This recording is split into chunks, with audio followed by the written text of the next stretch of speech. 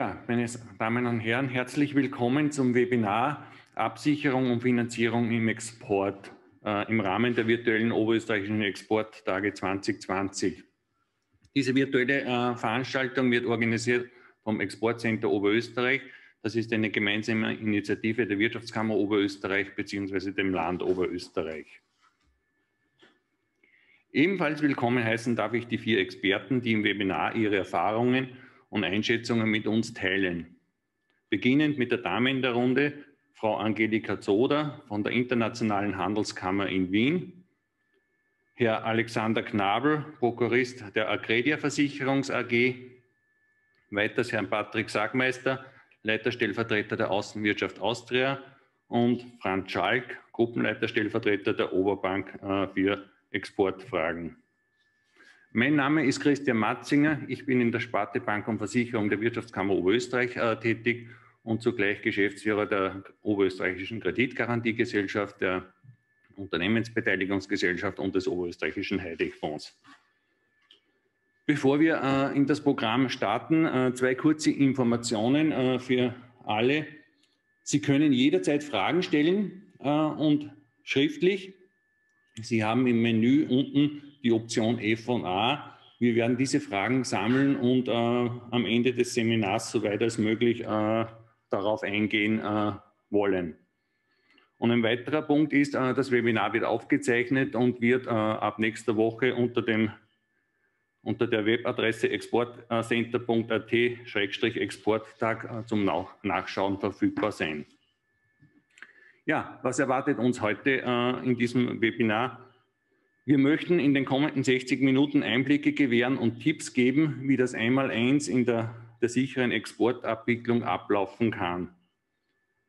Es wird darum gehen, inwieweit sich Abläufe und Herangehensweisen durch die Pandemie verändert haben oder noch verändern werden und was Sie bei Exportgeschäften aus finanzieller und rechtlicher Sicht äh, stets beachten sollten. Auch hier hat Covid äh, teilweise zu sehr, sehr neuen Fragestellungen geführt. Okay, äh, ich darf Herrn Patrick Sagmeister bitten, dass er uns äh, im Rahmen eines Impulsstatements äh, zum Thema Covid-Learnings äh, für Exporteure äh, Informationen äh, zur Verfügung stellt. Bitte darum. Guten Morgen von meiner Seite. Herzlichen Dank. Ich versuche jetzt mal meinen Bildschirm zu teilen. So, also dann nochmals äh, herzlich willkommen zu unserem Webinar. Es freut mich sehr, dass ich hier den Anfang machen darf und ein bisschen auf das Thema einstimmen darf. Internationalisierung in Zeiten von Covid. Äh, ein paar Sachen haben sich geändert und ich würde da gern ein bisschen ein Stimmungsbild abgeben. Die Hauptpunkte meines äh, kurzen Statements in den nächsten 12 äh, bis 15 Minuten werden sein, ich werde ein bisschen über Lieferketten sprechen. Natürlich in aller Munde, was wir verbessern können, auf die Bedeutung des Exports eingehen, ein kurzes Stimmungsbild abgeben unter unseren Auslandsniederlassungen und dann schauen, was die Außenwirtschaft Austria äh, für Sie machen kann. Lieferketten ist wahrscheinlich das Erste, was einem einfällt, wenn man, wenn man spricht über das internationale Geschäft äh, in Zeiten von Covid. Äh, wir haben ja eine Tendenz gehabt in den letzten Jahren, äh, Jahrzehnt oder noch mehr, quasi, dass die Lieferketten immer internationaler geworden sind. Es sind Sachen in China produziert worden, veredelt in Afrika, wieder zurück nach Asien, assembliert in Osteuropa, verkauft in Nordamerika. Keine Ungewöhnlichkeit, aber man hat jetzt gesehen, äh, dass das jetzt nicht mehr immer ganz so reibungslos geht. Also da wird jetzt eine Veränderung eintreten. Die ganze Geschichte war in der Vergangenheit immer sehr preisgetrieben. Da kommen jetzt einfach andere Sachen wie die Verlässlichkeit der Lieferketten hinzu und äh, das bewirkt ganz andere strategische Überlegungen. Eine Folge daraus, ich glaube, das ist unbestritten, auch wenn es in der Realität vielleicht noch nicht ganz so greifbar ist, aber auf jeden Fall in vielen Zimmern werden Strategie geschmiedet, wie man diese Lieferketten äh, regionaler oder sogar vielleicht äh, nationaler macht. Und warum ist das für Österreich so wichtig? Äh, liegt eigentlich auf der Hand. Kleines Land, sehr international, Exportquote von über 50 Prozent. Ähm, und da ist es natürlich, ist die Verknüpfung mit dem Ausland sehr, sehr groß. Bei unseren Exporten, äh, was wir haben, haben wir eine, haben wir quasi ausländische Wertschöpfung enthalten von einem Drittel. Ja, also das müssen wir mal reinbekommen. Äh, und äh, von all unseren Importen sind fast 42 Prozent Vorprodukte, ja, das wir wieder brauchen, um Sachen zu fertigen. Und was dann noch besonders äh, beunruhigend ist, in einer Umfrage, die wir vor kurzem gemacht haben, haben auch wiederum fast ein Drittel der Befragten gesagt, sie haben Probleme gehabt, quasi Zulieferprobleme gehabt, äh, die sie durch, durch die Covid-Situation ergeben haben. Und was noch schwieriger ist, 41 Prozent der Unternehmen haben gesagt, sie haben eigentlich keine Alternative für gewisse äh, kritische Lieferanten. Und das, äh, so wissen wir jetzt, äh, zum Ende von 2020, äh, kann durchaus ein Problem darstellen.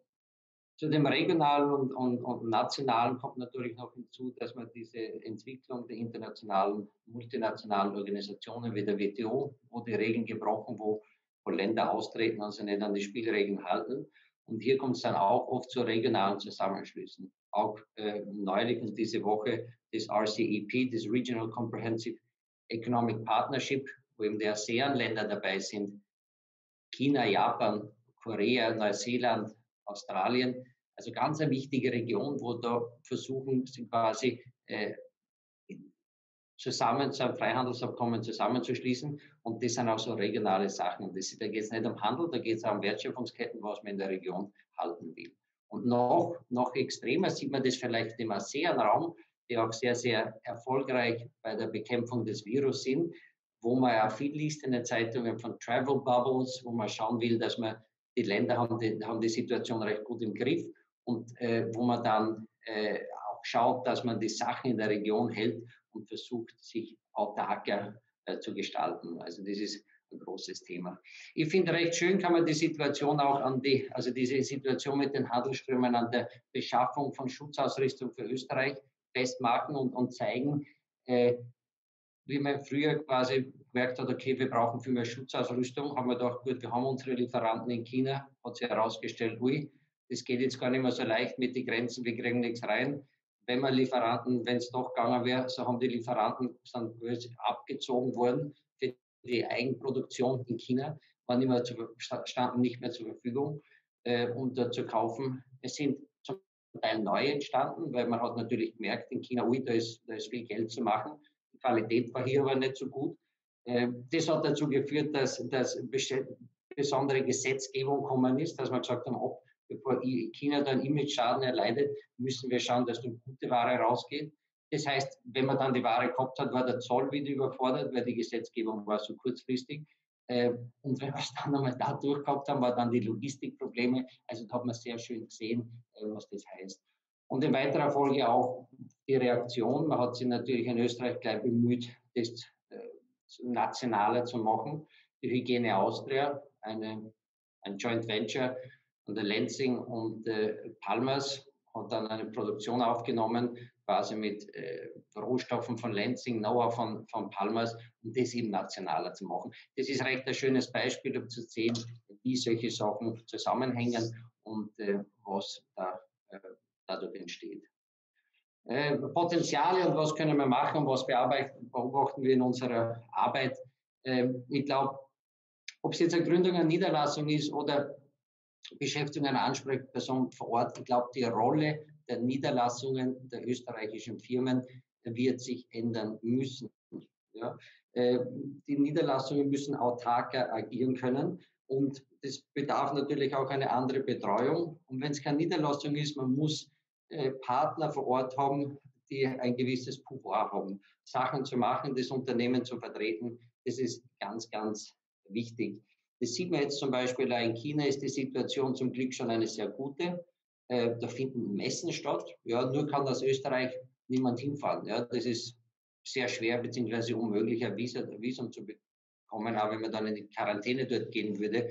Vorher ist sehr schwer. Darum ist wichtig, dass man vor Ort ist, äh, mit, mit, mit, dass man Partner hat vor Ort, die das übernehmen können, die auch die Firmenbetreuung übernehmen können.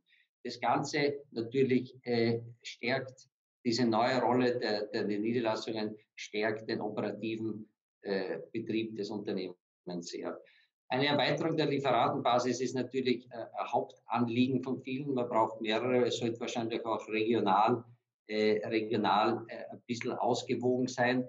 Äh, natürlich, die Beschaffung bekommt einfach eine ganz andere Priorität. Europa wird wieder attraktiver. Äh, es, wir beobachten jetzt nicht, dass jetzt alle das total shiften, aber in Asien wird es ein bisschen überregionaler, also jetzt nicht nur China. Und viele überlegen sich halt wieder Europa. Das gibt natürlich auch für die Produktionen, äh, wo wir wissen, dass sehr viel äh, Arbeit im Hintergrund geleistet wird und Überlegungen, äh, hier wieder mehr nach Europa zu ziehen. Lagerbestände sind natürlich auch ein großes Thema. Äh, die Lagerbestände müssen höher sein. Das führt natürlich in Vergangenheit, wo immer Lean das große Wort. Äh, es muss alles Lean sein, alles just in time sein. Tendenz äh, Lean can also be mean, äh, um das in einem kleinen Wortspiel auszudrücken. Also hier, das ist wirklich ein Thema, wo, wo ein Sinneswandel stattfindet. Auch im Sinne von der Sicherheit hat es ja auch gegeben die strategische, diese Arbeitsgruppe von Krisenbedarfsdeckung, SKKM, staatliche Krisen- und Katastrophenmanagement von der Bundesregierung. Und da gibt es ja quasi klare Empfehlungen auch von Unternehmen, besonders in einigen Branchen, aber generell hier Lagerstände äh, zu halten. Also das in diesem Bereich, was ich jetzt angesprochen habe, das sind äh, Bereiche, da müssen wir arbeiten, da müssen wir neu denken und äh, das, da in diesen Bereichen hat es eine Veränderung bewirkt. Der Export, um nur ganz kurz darauf einzugehen, äh, muss ich wahrscheinlich den Teilnehmern vielen nicht erzählen, aber für uns als Österreich ist der Export einfach Mehr als 50 Prozent gehen in den Export. Wir, haben, wir haben 150 Milliarden plus Exporte. Äh, es sind 1,5 Milliarden Jobs hängen direkt an den Export. Äh, pro Kopf Exporte sind wir sehr gut. Wir exportieren in 200 Ländern. Die Entwicklung war auch bis 2019 eine sehr positive. 2020, äh, wenn wir rechnen, das ist in der Größenordnung von 10 Prozent, so stehen die Zahlen zurzeit, rückläufig sein wird. Also Export ist ganz, ganz wichtig und das ist auch der Grund, warum sich Österreich eine, eine Export, eine Internationalisierungsagentur, für die ich arbeite, leistet. Wir sind die Partner im Ausland und wenn Sie sich gedacht haben, oft, wir haben aber keine Niederlassung und wir sind nicht, äh, wir haben noch keinen Partner dort, wo wir vielleicht schon vereinzelt Kunden haben, denken Sie daran, äh, wir haben 100 Büros weltweit, das heißt, Sie haben 100 Büros weltweit. Wir sind Ihr verlängerter Arm vor Ort. Jetzt noch viel mehr wie sonst, weil jetzt können Sie oft wirklich selber nicht hin äh, briefen Sie uns, äh, wir können die Kunden betreuen, wir können hier für Sie aktiv werden, wir können, wir können einfach sehr konkret als Ihr verlängerter Arm aktiv werden. die Internationalisierungsagentur, was hier auch steht, Internationalisierung in diesen Zeiten heißt natürlich auch wieder viel mehr als das haben wir immer gemacht, aber jetzt viel mehr. Es geht nicht nur um Exporte, sondern es geht ja darum, quasi äh, sie an internationale Wertschöpfungsketten anzubinden, äh, die richtigen und auch diese Wert und schauen, äh, dass sie auch hier eingebunden sind, äh, richtig, äh, richtige Bezugsquellen. Also das ist ein ganz wichtiges Thema, also die Sachen reinholen. Als die Innovationsagentur holen wir schon seit ein paar Jahren Ideen rein, aber es geht jetzt sehr stark darum, diese Einbindung in die, in die Wertschöpfungsketten, das ist ein ganz wichtiges Thema. Und wir werden nicht komplett ohne unseren äh, Kollegen in den Bundesländern, in Oberösterreich an der Landeskammer, äh, die Außenwirtschaft. Hier gibt es ein sehr starkes Know-how im Bereich von, wie bekomme ich die Produkte wirklich raus und rein. Ja, die ganzen technischen Formalitäten, was ja sehr, sehr wichtig sind, besonders jetzt, nicht nur für die Produkte, oft auch, auch für die Menschen, für die Arbeitskräfte, wie bekommt man die rüber, dass sie, dass die Pendler bei uns arbeiten können, ist auch ein ganz wichtiger Bereich. Ähm, das machen wir. Wir fragen, ich habe schon gesagt, äh, ich habe gesagt, wir, machen, wir, haben, wir befragen unsere Niederlassungen äh, jedes Jahr äh, und, und, und hier die grünen Balken ist ein bisschen schwer leserlich, aber ich kann ja sagen, was die sagen, dass das Wichtigste ist, ist in Summe das große Thema Networking, dass man mit Gleichgesinnten zusammenkommt, dass man Le Leute kennenlernt, dass man Informationen bekommt. Der zweite hohe Balken ist dann diese Vorsprache und Intervention bei Behörden. Ganz ein wichtiger bei Zollgeschichten, bei, äh, bei Importbestimmungen. Also, das ist ein ganz wichtiges Thema, wo wir direkt als ihr verlängerter Arm vor Ort intervenieren können. Und dann, und das sehen wir fast als unser Herzstück, wir suchen ihnen die richtigen Partner. Es gibt so viele Möglichkeiten. Im Internet gibt es tausende Firmen zu jedem Thema, die was anbieten. Wir suchen ihnen die richtigen, die verlässlichen Partner. Das ist das Kerngeschäft. Wenden Sie sich bitte an uns äh, diesbezüglich.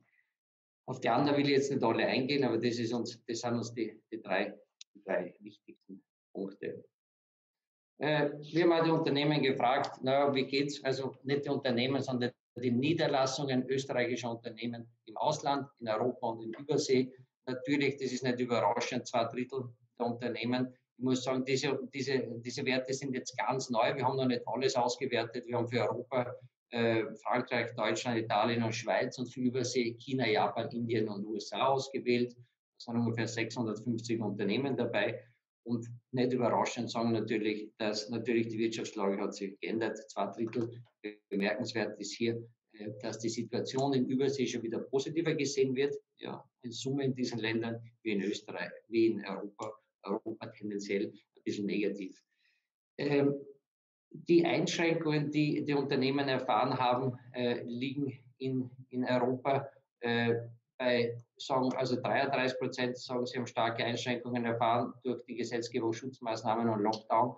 Äh, und in Übersee waren es 50, also da hat man da offensichtlich weniger darunter gelitten. Nachfragerückgang in beiden bei ungefähr der Hälfte. Investitionen äh, sind in Europa in einem geringeren Ausmaß betroffen als in Übersee. In Europa waren es äh, äh, oder Entschuldige, ja, in Europa waren sechserseits zwei Drittel der Investitionsprojekte, deshalb gehen wir normal durch. In Übersee waren es ein bisschen weniger. Und der letzte Punkt, der hat mir einfach gefreut und darauf habe ich auch reingeben, kein direkter Zusammenhang, aber äh, dass unsere Rolle wahrgenommen wird äh, als äh, Netzwerker, Kontaktvermittler und Unterstützer im Ausland. Das auch für Sie als Motivation, nützen Sie das. Äh, Sie zahlen dafür. Wir haben die Leute draußen, nützen Sie diese Leute damit sie auch in diesen Zeiten ein gutes Geschäft machen können.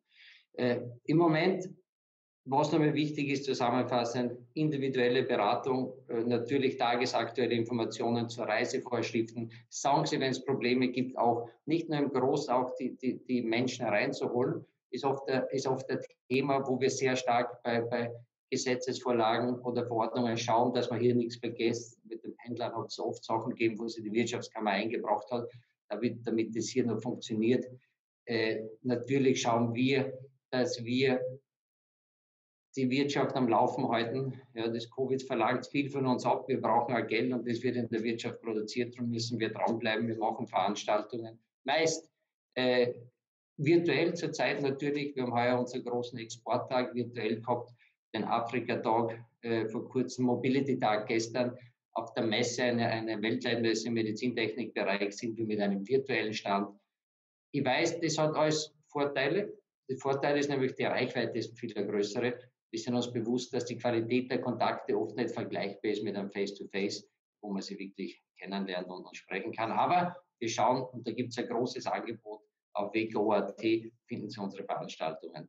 Und das ist das Wichtigste nochmals, wir sind für Sie überall vor Ort. Sie haben 100 Büros weltweit, Sie sind überall vertreten und das ist das, was Sie jetzt brauchen, damit Sie wahrscheinlich zum Großteil bestehenden Kunden betreuen können und Informationen aus erster Hand bekommen. Neugeschäft helfen wir natürlich auch, äh, ist eine große Herausforderung jetzt und äh, das ist äh, sicherlich ein Punkt.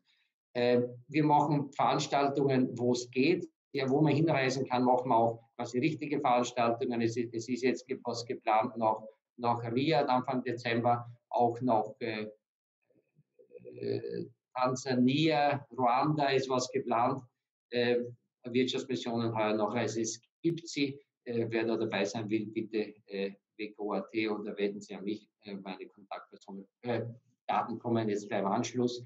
Und denken Sie dran, die Go International, diese, die, die Internationalisierungsoffensive vom BMDW, also vom Wirtschaftsministerium und von der Wirtschaftskammer läuft noch bis, bis Ende März. Es gibt besonders hier auf diesen Digitalisierungscheck will ich hinweisen. Schauen Sie, dass Sie digital fit werden im internationalen Bereich. Das wird gefördert bis 7.500 Euro. Wirklich einfach. Ja, greifen Sie da nur zu bis Jahresende. Schauen Sie, dass Sie da einfach in diesen virtuellen äh, Bereichen einfach top aufgestellt sind. Äh, und äh, äh da ist es sicherlich der richtige Schritt zu dieser Zeit. Äh, am Ende steht hier noch unser, unser Projekt der, der, Global Value, der Global Value Chains. Das deckt ein bisschen den Bedarf ab, den ich genannt habe. Äh, wenn Sie hier strategisch überlegen und wenn Sie sich hier verbessern wollen, hier wird es Veranstaltungen, Workshops und Individualberatungen geben. Äh, wenn, wenn Sie das interessiert, wenden Sie sich bitte an mich. Hier sind meine Kontaktdaten. Es war mir eine große Freude, dass ich äh, zu Ihnen kurz sprechen habe dürfen heute Morgen und äh, gebe jetzt das Wort wieder zurück nach Oberösterreich. Vielen Dank und einen erfolgreichen Tag. Vielen Dank, Herr Sagmeister, für Ihre Ausführungen. War ja ein sehr informativer Überblick äh, über das aktuelle Thema äh, Export äh, in Zeiten äh, von Corona. Wir wechseln jetzt äh, zur Talkrunde. Und bei der Talkrunde darf ich äh, begrüßen nochmals äh, die Frau Angelika Zoder von der Inter Internationalen Handelskammer in Wien, den Herrn Alexander Knabel von der Agredia Versicherung und den Herrn Franz Schalk von der Oberbank. Wir haben das Thema oder die Fragen, äh, Themen äh, in mehrere äh, Blöcke eingeteilt. Ein erstes äh, Schwerpunktthema sind Lieferschwierigkeiten und andere Probleme rund um Covid. Ich beginne mit der Frau Zoder. Frau Zoder, Covid beschäftigt uns ja seit äh, mehreren Monaten. Das Risiko einer Pandemie oder andere Katastrophen sind im Regelfall unwahrscheinlich, aber grundsätzlich allgegenwärtig. Darum äh, meine Frage, welche Vorkehrungen kann ich als Unternehmen in meinen Verträgen treffen, um im Fall einer Pandemie und der sich daraus ergebenden Einschränkungen nicht auch noch schadenersatzpflichtig äh, zu werden, wenn ich meine Lieferverbindlichkeiten nicht oder nur teilweise äh, oder nicht zeitgerecht erfüllen kann. Das Wichtigste ist, glaube ich, Sie müssen Vorkehrungen in Ihren Verträgen treffen. Das konnte man früher schon tun, nur es war den Leuten nicht so bewusst. Was Sie brauchen im Wesentlichen ist eine Klausel zu höherer Gewalt oder wie man international sagt, Force Majeure, wo man also definiert, wenn so ein völlig unvorhergesehenes Ereignis eintritt, das von den Vertragsparteien auch nicht vermeidbar ist, dann wird man nicht haftbar aus dem Vertrag. Das heißt, man kann zwar nicht leisten, aber es gilt kein es ist keine Verschuldensfrage. Man läuft nicht in Penalen etc. hinein. Und das, was besonders wichtig ist, ist so eine Klausel hineinzugeben. Wir haben Ihnen eine zur Verfügung gestellt. Ich kann sie gerne mit Ihnen teilen, aber ich habe, äh, Sie können sie auch nach dieser Veranstaltung erhalten. Die ICC hat so eine internationale Klausel definiert in Langform oder in Kurzform, die man verwenden kann. Und das empfiehlt sich auch für alle künftigen Verträge. Natürlich für die, die man bereits abgeschlossen hat, hilft es nicht, aber in Zukunft. Und das, was man im Hinterkopf behalten sollte, äh, ist noch etwas Zweites. Das eine ist die Force Majeure-Klausel. Und wir alle wissen nicht, was in den nächsten Jahren noch kommt. Es können noch ganz andere Schwierigkeiten im internationalen Bahnverkehr auf uns zukommen. Also denken Sie daran, in Zukunft so eine Klausel in Ihren Vertrag aufzunehmen, weil das kann Ihr Leben sehr wesentlich verleichtern. Ja, damit Sie eben nicht schadenersatzpflichtig werden etc. Das Zweite, was man leider auch sagen muss, wir sind jetzt bereits in einer Pandemie. Wir kennen Covid-19 bereits. Das heißt, die Force Majeure-Klausel alleine für jetzt neu abgeschlossene Verträge hilft nur bedingt, weil wir wissen ja schon, es ist nicht unvorhersehbar, sondern wir sind mittendrin. Das heißt, wenn ich jetzt einen Vertrag abschließe, würde ich auf jeden Fall die Force Majeure-Klausel nehmen, weil wir wissen ja nicht, was sonst kommt. Aber zusätzlich würde ich versuchen, eine Regelung in den Vertrag aufzunehmen, wo klar ist, wenn ich zwar leistungswillig bin, aber vielleicht einfach nicht leisten darf. Und das ist die wahrscheinlichste Variante in dem derzeitigen Szenario, dass es immer wieder nationale Vorschriften gibt, die die Leistungsfähigkeit einfach eindämmen, indem es keine Visa gibt, indem es keine Transporte gibt etc.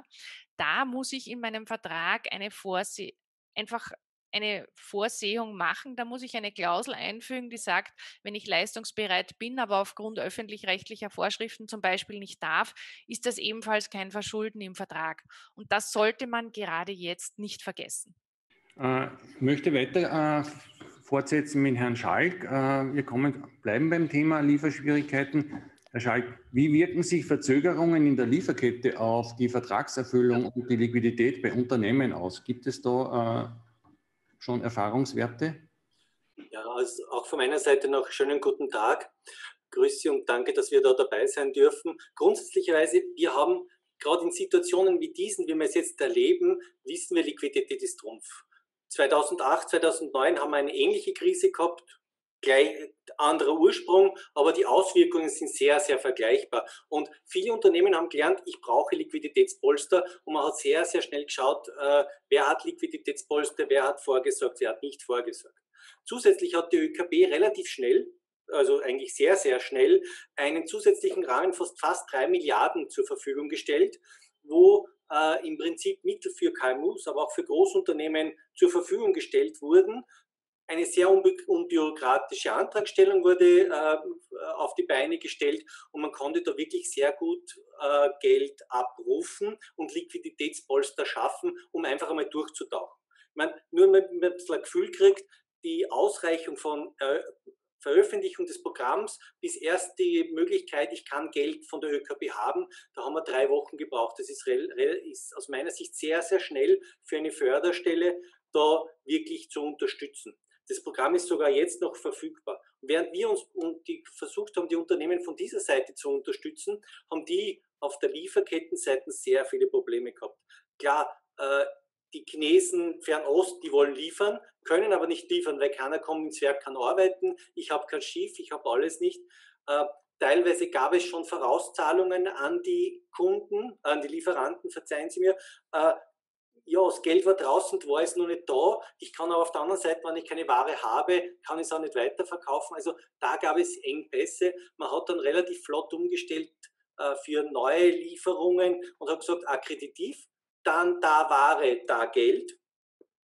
Äh, das ist äh, sehr gut, hat dann funktioniert, war, führte zu einem richtigen Revival von Akkreditiven, hat uns aber auch grundsätzlicherweise nichts genutzt, weil wenn kein Schiff geht, kann ich keine Lieferdokumente äh, einreichen führt hat das Ganze wirklich dazu, dass Lieferanten und Abnehmer, sprich unsere Exporteure in Österreich, enger wieder zusammengerückt sind. Nachhaltigkeit nicht nur als Umweltthema, sondern vor allem auch als Qualitätsthema. Verlässlichkeit ist in die Forderung gerückt und äh, das hat auch geholfen, ein bisschen mehr Verständnis in die ganze Geschichte zu bekommen. Man hat auf sehr viel Qualität geschaut. Auch das, was der Sagmeister angeführt hat, zu sagen, okay, heute, wie kann ich das besser machen als in der Vergangenheit?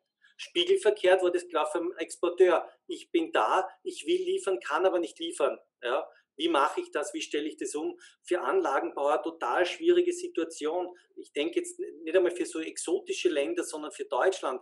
Äh, auf der einen Seite wollten Anlagenbauer ihre Techniker schicken, durften sie aufgrund von manchen Bundesländern nicht hinschicken in Deutschland.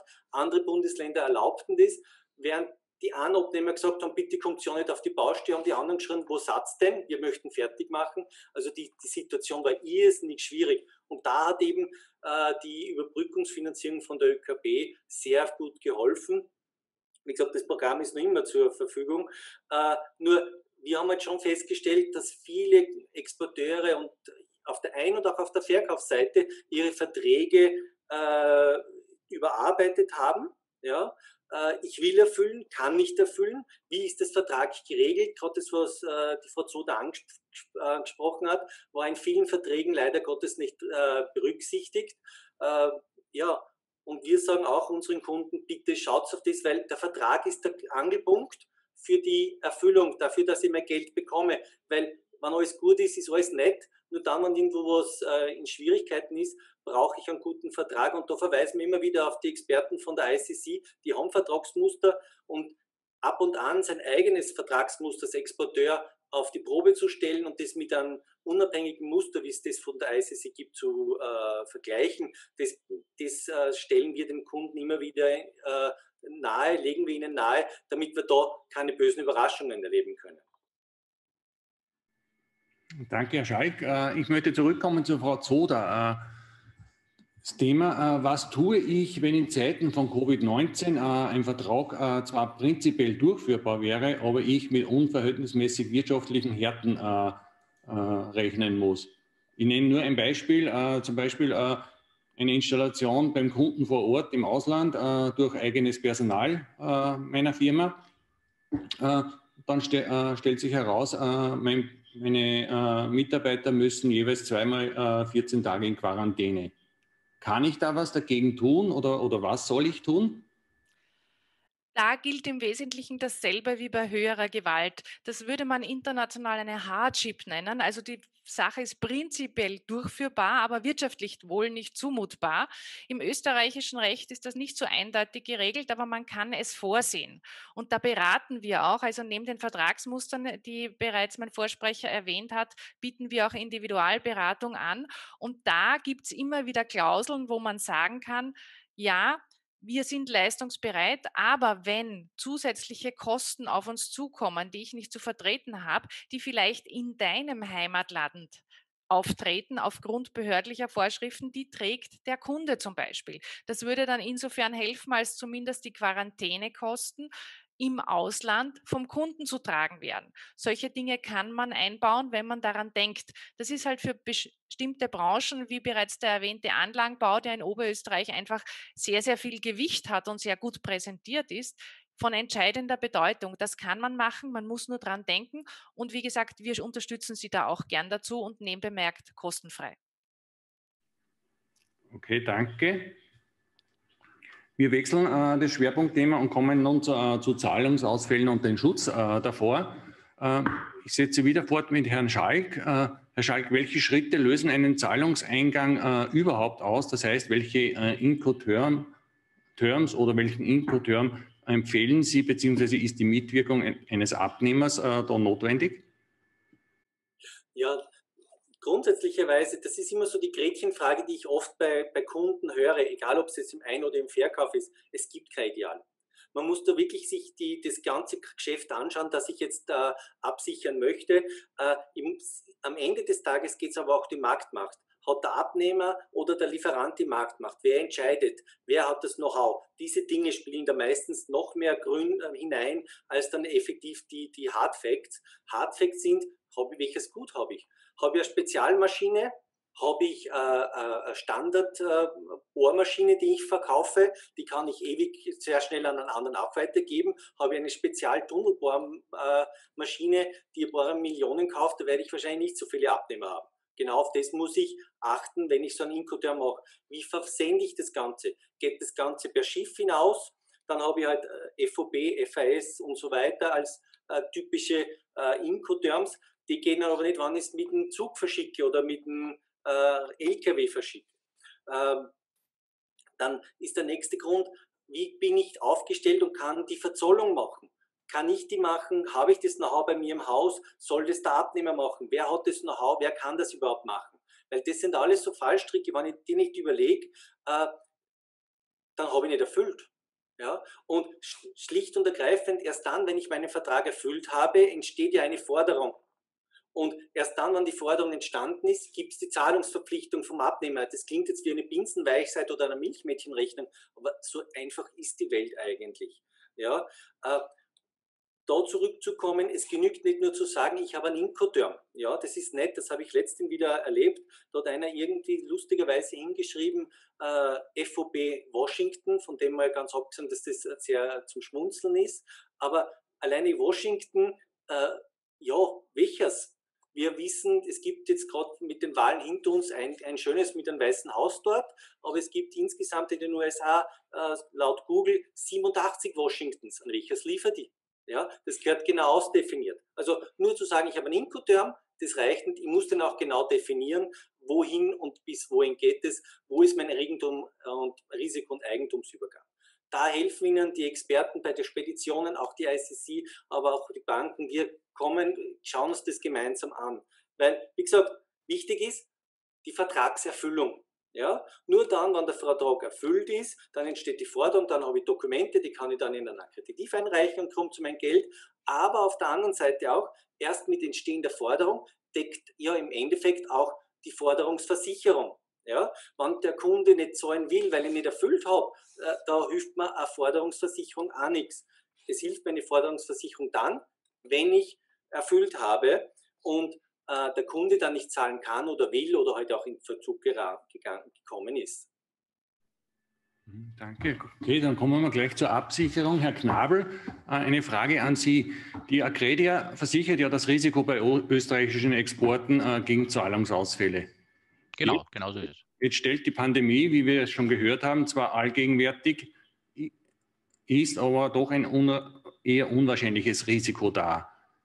Naja, seit 19, die Pandemie, die Covid ist die erste Pandemie seit 1922. Also es ist nicht so, dass die Pandemie so häufig auftritt. Aber natürlich ist es ein Modell, das eigentlich systemkritisch ist. Das heißt, es ist eine systemische Krise, weil natürlich unsere klassischen Versicherungsmodelle darauf der letzten 30, 40, 50 Jahre darauf nicht greifen können. Und da muss man natürlich in der Risikobeurteilung vielleicht weiter ausholen.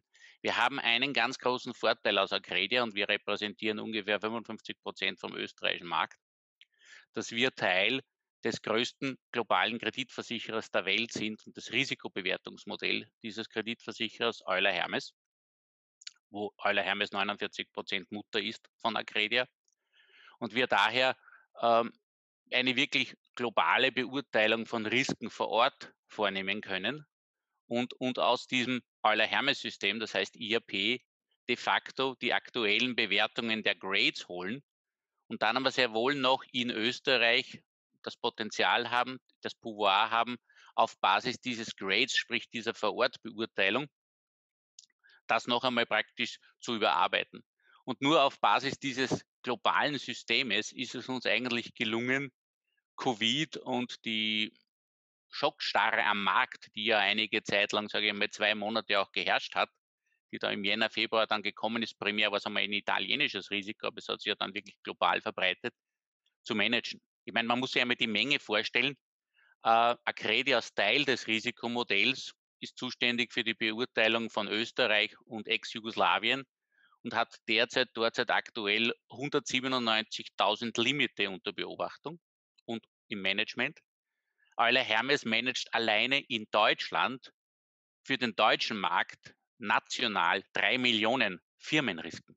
Also man muss sich einmal die Größenordnung dieser globalen Be Beurteilungsmaschinerie vorstellen.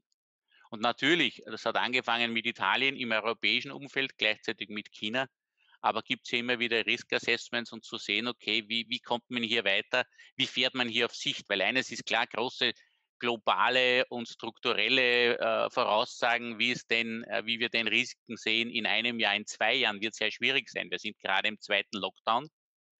Wir hoffen alle, dass es keinen dritten Lockdown gibt. Wir wissen das aber alle nicht. Und dementsprechend, und da gehe ich wieder auf die Worte vom Herrn Schalk von der Oberbank zurück, Liquidität ist die primäre Informationsquelle bei der Beurteilung von Firmen im Moment. Wie können praktisch, wie kann ich bei einem Italiener sehen, wie schaut dessen aktuelle Liquidität aus bei einem Franzosen, genauso wie bei einem US-Amerikaner oder einem, was ich unlängst hatte, einem Kolumbianer. Das heißt, die Beurteilungskriterien, wie schaut die Liquidität aus, wie schaut natürlich auch das aktuelle Zahlungsverhalten aus. Und hier gibt es natürlich die klassischen verschiedenen Systeme, wie auch Länder, Firmen bereit sind, aktuelle Informationen über ihre Geschäftssituation zur Verfügung zu stellen. Ich habe erst unlängst wieder mit einer Firma gesprochen, die nach wie vor ihre 2019er Zahlen nicht zur Verfügung stellt. Das ist natürlich dann extrem schwierig, hier eine aktuelle Beurteilung überhaupt abzugeben, weil natürlich Aktualität ist Trumpf. Das ist so. Und mit dem muss man natürlich, und wir fahren natürlich auf Sicht, das ist ganz klar und versuchen hier natürlich auch unsere volkswirtschaftliche Aufgabe, wir repräsentieren 55 Prozent des österreichischen Marktes natürlich abzuwickeln. Aber es ist natürlich eine große Herausforderung, keine Frage. Mhm, danke. Ich möchte zurückkommen zu Frau Zoder äh, und die, eine weitere Frage stellen. Äh, welche Möglichkeiten, vor allem im Hinblick auf die vertragliche Gestaltung, äh, bieten sich für Unternehmen, äh, um Zahlungsrisiken bei Exportgeschäften zu minimieren bzw. überhaupt weitestgehend äh, zu vermeiden? Ich glaube, wenn man realistisch ist, muss man von Minimieren reden. Natürlich perfekt für einen Verkäufer ist 100% Vorauszahlung und dann äh, arbeite ich. Nur in diesen paradiesischen Zuständen lebt man nur ganz, ganz selten. Das heißt, ich muss mir wirklich überlegen, was ist mein Produkt, was sind dabei die typischen Risiken. Es macht ganz was anderes, wenn ich ein Standardprodukt habe, das ich auf dem Markt vielfach verkaufen kann oder eben individual angepasste Maschinen zum Beispiel, wie heute schon erwähnt. Und da ist es ganz wichtig, dass Sie wirklich die bankmäßigen Sicherheiten wie Akkreditiv oder Bankgarantie, die der Herr Schalk vorher schon erwähnt hat, genau mit dem Vertrag abstimmen. Das muss sozusagen, stellen Sie sich vor, wie ein Zahnrad, das ineinander greift. Und wenn dieses Zahnrad gut ineinander greift, sind Sie relativ sicher. Was Ihnen die Banken können sehr viel für die Exporteure hier tun. Die können bankmäßige Sicherheiten zur Verfügung stellen und das auch prüfen. Aber eine Bank kann niemals prüfen und wird es auch nicht tun, sozusagen, wie passt diese bankmäßige Sicherheit zu meinem Vertrag, weil den Vertrag kennt die Bank nicht. Das heißt, Sie müssen in Ihrem Unternehmen vielleicht, ich sage, es ist ein bisschen wie ein Handwerker. Sie müssen herangehen und Sie müssen sich vielleicht auch einmal aufzeichnen auf einem Blatt Papier zu sagen, wann bekomme ich wie viel Geld, wann brauche ich welche Sicherheit und wie stimme ich das darauf ab? Wann brauche ich ein Akkreditiv, wann arbeite ich mit einer Bankgarantie, wann arbeite ich vielleicht nur mit einem Inkasso? Aber da muss man wirklich einfach ganz pragmatisch herangehen äh, und da, das müssen nicht Juristen sein, so ein erfahrener Vertriebsmensch kennt das auch sehr rasch. Ja? Wie stimme ich das ab? Und das, was ihnen nicht passieren darf, und das sehe ich leider manchmal in Unternehmen, sozusagen, dass eine Seite der Vertrieb sehr engagiert im äh, Verkauf arbeitet und die Leute, die die Sicherheiten prüfen sollen oder die die Bankgarantien in Auftrag geben, wesentliche Teile des Vertrags nicht kennen. Das darf nicht sein, weil dann kann es nicht zusammenpassen. Und deshalb ist es wirklich wichtig, dass man sozusagen irgendjemand, wer immer das im Unternehmen ist, das ganz genau einfach noch einmal drüber schaut, anschaut, passt das zusammen. Und das ist, glaube ich, eines der wesentlichen Elemente, damit Sie sozusagen die bankmäßigen Sicherheiten auch sinnvoll zu Ihrem Vorteil und zu Ihrer wirklichen Absicherung einsetzen. Danke. Äh, ich möchte weitergehen zum Herrn Schalk und äh, die nächste Frage, die an die Oberbank gerichtet ist. Welche Möglichkeiten gibt es für Unternehmen, die Bonität der ausländischen Abnehmer äh, zu prüfen bzw. zu monitoren? Und vielleicht dazu gleich äh, noch eine weitere Frage. Wie können Unternehmen den rechtzeitigen und vollständigen Zahlungseingang sicherstellen, wenn es möglich ist? Ja, eine ganz spannende Frage, äh, die wir nicht nur jetzt in Zeiten wie diesen hören, sondern äh, immer wieder konfrontiert sind. Das klassische Mittel der Bankauskünfte ist äh, Gott sei Dank gegen den Hintergrund gerutscht, weil ja die höchstens nur interpretierbar sind. Wenn ich eine andere Bank frage, wie geht es da mit dem und dem Kunden, kennst du den überhaupt? Generell wir empfehlen, was wir auch selber tun, wir schauen uns die Auskünfte über Kunden an von großen äh, Auskunfteien, sei es Kreditreform, Dun Bradstreet, egal wie. Äh, da muss man sich aber auch immer wieder vor Augen führen, äh, die Qualität ist da sehr, sehr unterschiedlich von den Auskünften. Die reicht von einer ganzen Bilanz, die da drinnen ist, beziehungsweise historischen Bilanzen, äh, wirkliche Bonitätsbeurteilung bis zu einem Kreditlimit, bis hin, ja, die Firma gibt es und ein Telefon sie auch. Äh, der Preis ist relativ gleich für beide Qualitäten. Also man muss sich das dann schon anschauen. Was sich aus meiner Sicht wirklich anbietet ist, und das ist das, was viele Unternehmen leider Gottes noch immer vergessen ist, wir sollten auf die Wirtschaftskammer und die AHDs zurückgreifen die sitzen vor Ort, die kennen äh, dort vor Ort die besten äh, Auskunfteien, die kennen vielleicht sogar die Firmen, äh, können dazu Auskünfte einholen, können nachhaken, wann die Auskunft entsprechend äh, mager ausgefallen ist und da sollte man die Wirtschaftskammer wirklich toll mit einbinden. Das ist ein Service, das ist etwas, was, das ist ein Wettbewerbsvorteil, den die österreichischen Unternehmen haben. Äh, so viele Standorte wie wir hat kein anderes Land. Und wenn man sich dann die Größe von Österreich anschaut, ähm, ist das wirklich sehr, sehr beeindruckend.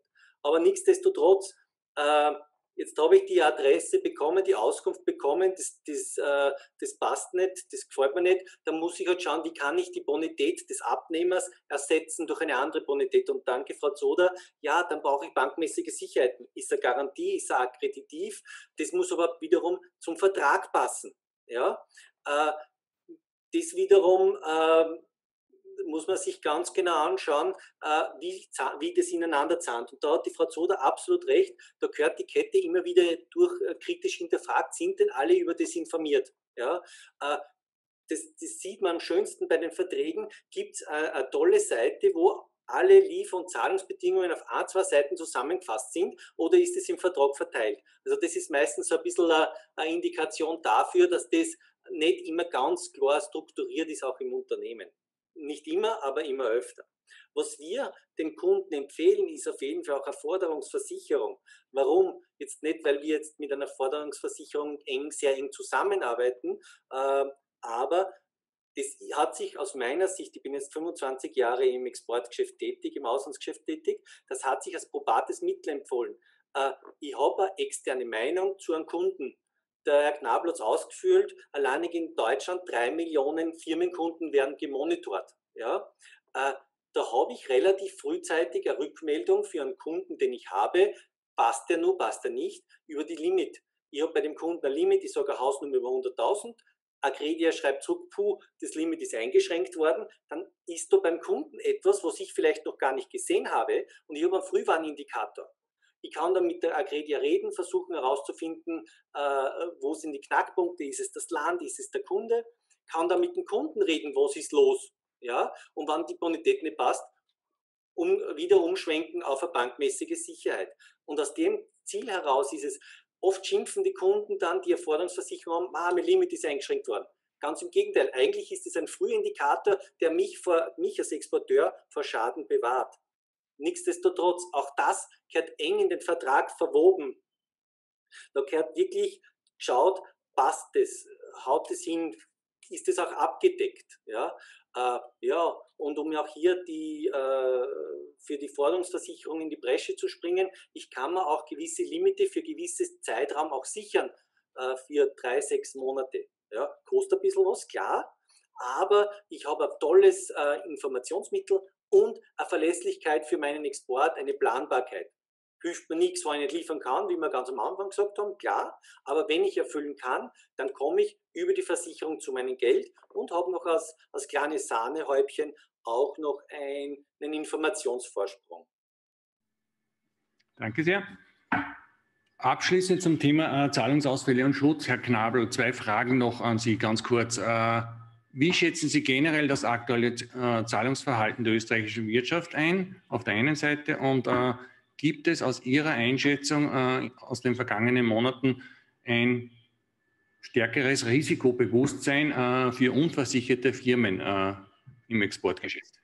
Danke für die Fragen. Wir haben in Österreich natürlich, wenn wir das rein nationale Geschäft ansehen, nach wie vor die eigentümliche Situation, dass wir nach wie vor, wie das so neudeutsch heißt, einen DSO, einen Day Sales Outstanding haben von 28 Tagen. Gehen wir es einer Statistik wie vor, vor zehn Tagen in der Presse.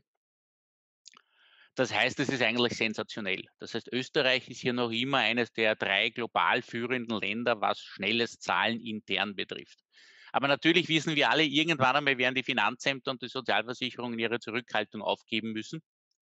Und die Firmen müssen dann, wir haben ja derzeit auch weniger Konkursanträge als normal, also in normal guten Jahren. Und wir erwarten schon eine Welle praktisch, die dann, äh, ich sage mal, im Frühjahr 2021 mit Insolvenzen irgendwann einmal dann kommen wird. Wir, wir verzögern es heute. Wir haben ein bisschen eine Zombie-Struktur im Moment, aber von den nationalen Zahlungen in Österreich ist die Krise bei den, sage ich jetzt einmal, nur national tätigen Firmen noch nicht angelangt. Natürlich haben Firmen, ich betreue einige Firmen, die sehr global unterwegs sind bei uns im System, natürlich, die haben schon ihre großen Zahlungsverzögerungen, aber die arbeiten auch teilweise mit 90 Tagen Finemese, 120 Tagen. Ich meine, da, da habe ich natürlich auch dann einen gewissen Dominoeffekt. Da bin ich sehr schnell dabei in einem Jahr. Ausständen. Aber es bemühen sich eigentlich global derzeit alle noch sehr brav und sehr korrekt zu zahlen, teilweise korrekter als vor der Krise, weil natürlich jeder weiß, dass jeder den anderen ein bisschen beäugt und sagt, okay, wie geht es da denn eigentlich von, von der, Bonität und von, vor allem nicht der Bonität, sondern Liquidität. Liquidität ist absolut Trumpf im Moment. Aber natürlich wissen wir, so ein bisschen wie das Kaninchen vor der Schlange, irgendwann einmal kommen die Karten auf den Tisch Zuerst einmal wird praktisch wird die Zurückhaltung der Finanzämter und Sozialversicherungen irgendwann einmal muss das weichen und auf eine Normalität kommen. Da wird eine erste Welle an Problemen liquiditätstechnisch, insolvenztechnisch kommen. Das wissen wir, das erwarten wir. Und dann wird ein bisschen vielleicht Ruhe einkehren, hoffentlich ein Aufschwung der Wirtschaft. Vielleicht hängt immer davon ab, wie schnell kommt die Impfung. Und das nächste wird sein, wie wird sich das in den Bilanzen ausdrücken? Was werden die äh, Banken dann natürlich auf der anderen Seite auch irgendwann einmal mit diesen Bilanzen machen? Dann wird eine zweite Nachwelle kommen. Also das erwarten wir. Das ist das eine zur Frage, wie sehen wir praktisch die, die Insolvenzsituation, die Liquiditätssituation. Das zweite ist, äh, Risiko-Awareness. Wir hatten natürlich durch die Krise, das hatten wir 2008, 2009 auch schon, wobei die Krise meiner Meinung nach nicht wirklich vergleichbar ist, so dass wir durch Covid die neue Situation bei den Firmen so etwas hatten wie zwei Monate Schockstarre oder drei Monate Schockstarre. Nicht? Keiner hatte dann wirklich die Zeit, sich um das auch noch zu kümmern, wenn er bis dato nicht versichert war, weil er einfach geschaut hat, dass er seine, seine Lieferanten etc. alles auf Vordermann bekommt, irgendwie das handelt. Äh, die großen Firmen in Österreich sind alle kreditversichert. Das ist ein Thema, das ist gegessen. Wo wir natürlich eine Unterversicherung in Österreich haben, das ist das klassische Gewerbe. Hier gab es halt in der, in der Hauptkrise ein gewisses noch immer Awareness-Problem. Aber das hat sich jetzt langsam auch verändert. Das hat im, ich sage immer im August, September begonnen, sich zu verändern. Eigentlich in dem Moment, wo große Betriebe begonnen haben, Personalabbauungen zu kommunizieren praktisch. Ich sage jetzt Swarovski, ich sage jetzt MAN praktisch, wo diese, wo diese Probleme aufgetoppt sind. Das hat bei vielen Firmen im Gewerbe einen Mentalitätsunterschied bewirkt. Und wir haben zum Beispiel jetzt schon, äh, was vorher fast unvorstellbar war, unter Anführungszeichen, globale Polizen verkauft, also, also für revolvierende Lieferungen, normale Polizen, rein virtuell, weil natürlich unser Außendienst im Moment nicht zum Kunden konnte und kann.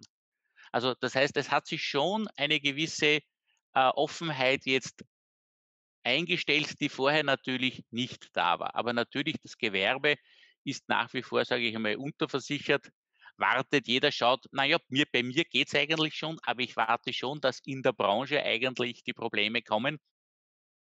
Aber, aber es verändert sich hier sicherlich auch was und es verändert sich auch eine Offenheit gegenüber den digitalen Medien. Nicht, auch das kommt.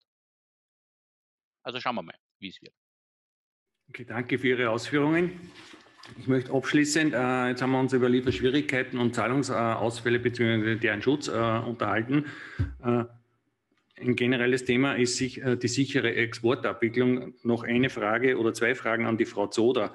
Äh, den, bei den vergangenen Fragen haben wir uns ja natürlich um, der, um einen Zahlungsausfall äh, beschäftigt. Sehen Sie noch weitere Risiken im Export, denen sich heimische Unternehmen bewusst sein müssen? Auf der Absolut. einen Seite und so, vielleicht sozusagen im Export. Okay, bitte. Jetzt? Ja, ja. Sorry. Ähm, also wir haben jetzt viel über Zahlung gesprochen, das ist gut und richtig, aber das ist ja nicht das Ganze. Das nächste große Risiko, das man im Export haben kann, ist Haftung. Und zwar Haftung hat ganz verschiedene Grundlagen. Das bekannteste ist einmal Gewährleistung, dann Schadenersatz, vielleicht aus dem Produkthaftungsgesetz. Ja? Also Haftung hat ja ganz viele Grundlagen und Haftung ist, und da mahne ich immer zu einer gewissen Vorsicht, eigentlich ex lege der Höhe nach unlimitiert. Wir sind jetzt in Österreich relativ privilegiert, weil wir eine Rechtsordnung haben. Also wenn Sie auch einen internationalen Vertrag dem österreichischen Recht unterlegen, dann können Sie in Ihrem Individualvertrag die Haftung limitieren. Ich sage nicht ausschließen, aber Sie können sie der Höhe und der Art nach begrenzen. Und das ist ganz, ganz wichtig, weil äh, Sie dürfen nicht vergessen, eine Schadenersatzforderung kann im schlimmsten Fall weit über die Höhe des Kaufvertrags hinausgehen. Völlig unlimitiert. Ja.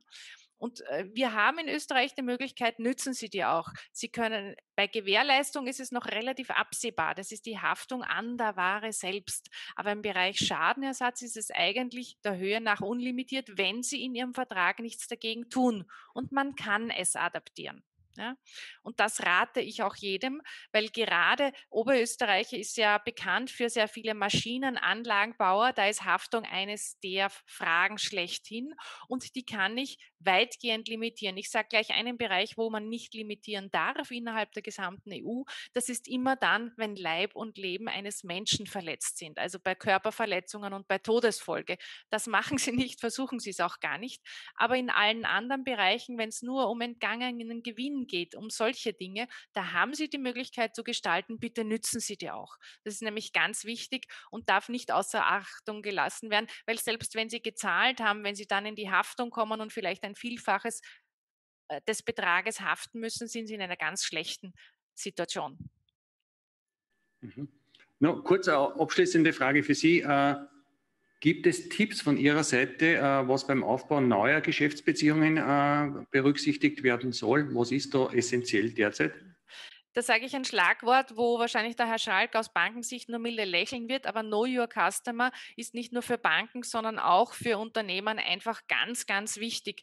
Und auch der Herr Sargmeister hat bereits gesagt, es gibt die Möglichkeit, hier zu unterstützen und das möcht, da möchte ich alle dazu auflesen. Es ist ganz wichtig, dass Sie Ihren Vertragspartner kennenlernen. Mir ist schon klar, dass es in Zeiten einer Pandemie viel schwieriger ist, aber trotzdem kommt es gerade darauf an, äh, sozusagen alles an Möglichkeiten, wie man sich Informationen beschaffen kann, einzuholen. Erstens einmal ist es eine reine Frage der kaufmännischen Vorsicht, selbstverständlich. Aber je besser Sie Ihren Vertragspartner kennen, desto eher können Sie auch mit unvorhergesehenen äh, Situationen umgehen. Und das, äh, was ich Ihnen halt auch nahebringen will, wenn Sie jetzt einen langjährigen Vertragspartner haben und sagen Sie, ja, Know Your Customer ist kein Problem für mich, so einfach ist die Sache nicht. Sie brauchen ja jeweils aktuelle Informationen. Da kann sich die Geschäftsführung, da kann sich der Eigentümer ändern, da haben Sie ja ganz viele Themen, die damit verbunden sind. Das heißt, Sie müssen auch bei den Vertragspartnern, die Sie bereits haben, bei den Kunden, die Sie haben, wirklich das Know Your Customer Prinzip leider zu einer regelmäßigen Pflicht machen und sich nicht nur über Finanzielles, sondern auch sozusagen über den Hintergrund des Unternehmens genau informieren. Weil wir haben jetzt eine Pandemie, aber es gibt ja noch viele andere Rechtsthemen, es kann auch das seriöseste Unternehmen einmal in eine Schieflage geraten. Und da ist es wichtig, dass sie wirklich aktuell drauf sind und äh, da sich diese Information verschaffen. Noch was Zweites, das haben wir vor allem zu Beginn des ersten Lockdowns gesehen. Da waren sehr viele kleine und mittlere Unternehmen recht verzweifelt und haben versucht, im internationalen Bereich neue Vertriebswege zu suchen und haben dann Internetkontakte äh, kontaktiert oder wurden aktiv kontaktiert. Da waren ganz viele Betrugsversuche dabei. Also es ist wirklich in, wichtig, dass Sie sich über die Seriosität Ihres Partners Informationen einholen und da wird Sie sicher die Wirtschaftskammer mit all ihren Außenstellen äh, unterstützen. Da werden Sie, wie auch wir Sie gerne unterstützen und auch die Bank kann manchmal da helfend eingreifen und nachschauen. Und das dürfte man nicht außer Acht lassen. Danke. Beenden wir die Talkrunde. Eine kurze Frage, ein Satz noch, Herr Knabel. Äh, wie sieht die Agredia das nächste Jahr? Gibt es da Tipps? Insolvenztechnisch haben Sie uns äh, in der Vorfrage schon einiges berichtet. Ein Satz noch äh, zum Ausblick für nächstes Jahr. Ich will nur sagen, nur mal, äh, äh, Frau Zoda, vielen Dank für den Hinweis. Und ich will nur mal darauf das betonen. Also Sie haben äh, also Risiko ist ein großes Thema, neue Customer ist ein großes Thema. Sie haben die Büros vor Ort. Wir können über einen normalen Desk Research hinaus zu den Firmen hinfahren. Wir können mit Leuten in der Community reden. Wir wissen, welche Projekte die Firma hat oder nicht hat. Das heißt, wenn die Bücher ein bisschen zweifelhaft äh, ausschauen, aber äh, es sind, aber das, die, die, Marktstellung ist eine starke und, und positive, kann das gut sein, aber in die andere Richtung, wenn die Bücher gut ausschauen, aber da kommt jetzt in der Pipeline gar nichts, so sind das ganz wichtige Hinweise für Sie. Also nützen Sie das, uns freut, es freut uns sehr, wenn wir Sie diesbezüglich wirklich intensiv unterstützen können. Okay, danke. Danke an alle äh, Talkrunden-Teilnehmer für die ausführlichen Antworten zu den Fragen. Äh, ich möchte jetzt aus Zeitgründen äh, gleich überspringen. Es gibt äh, einige Fragen aus dem Publikum, die wir noch beantworten möchten. Eine erste Frage an die Frau Zoder gerichtet. Inwieweit ist die Force Majeure Klausel auch für Dienstleistungen relevant, zum Beispiel Beratung? Diese könnte ja theoretisch online stattfinden. Äh, da gebe ich da gebe ich jetzt die Antwort, für die wir Juristen immer gehasst werden. Das kommt darauf an, nämlich darauf, wie Sie es in Ihrem Vertrag definieren. Ja, und so ist es leider. Man kann viele Dienstleistungen online erbringen, aber halt nicht alle. Und wenn Dienstleistung Ihr Geschäft ist, dann müssen Sie eine Force Majeure Klausel anpassen. Ja, weil es gibt viele Dienstleistungen, die derzeit gar nicht durchführbar sind und andere sehr wohl. Das heißt, man muss es wirklich auf die individuelle Branche anpassen und sich ganz pragmatisch überlegen, wie ist das in meiner Branche? Also das lässt sich branchenübergreifend schwer sagen, aber prinzipiell kann man auch bei Dienstleistungen sicher höhere Gewalt geltend machen, wenn man es gescheit formuliert. Mhm, danke. Okay. Ja, äh, und eine weitere Frage äh, oder mehrere Anfragen äh, zum äh, Weiterbildungsthemen äh, Incoterms, äh, die werden wir jetzt nicht mehr beantworten, aber die stellen wir Ihnen im Nachgang allen Teilnehmern zur Verfügung ich würde bitten, äh, einfach äh, dann, äh, wenn nächste Woche das Webinar online ist, da werden die Informationen dann vorhanden sein. Darf ich da ganz kurz noch dazu was sagen? Die Incoterms sind sozusagen unser Produkt und wir machen diese Schulungen derzeit auch online. Natürlich machen wir sie sonst live, aber wir machen sie derzeit auch online. Das heißt, wenn es da Bedarf gibt, Sie finden sie über unsere Homepage. Wer Fragen hat, auch nachher ein Mail an mich. Die Kontaktadresse habe ich bekannt gegeben. Das sollte kein Thema sein. Danke. Danke sehr. Ja, dann bleibt mir nur mehr übrig, äh, mich zu bedanken bei allen Expertinnen äh, und Experten äh, für diese ausführlichen Informationen. Ich hoffe, Sie konnten wertvolle, anregende Informationen mitnehmen und wünsche Ihnen, nachdem schon Freitag ist, schon ein schönes Wochenende. Danke, bis zum nächsten Mal, hoffentlich face to face.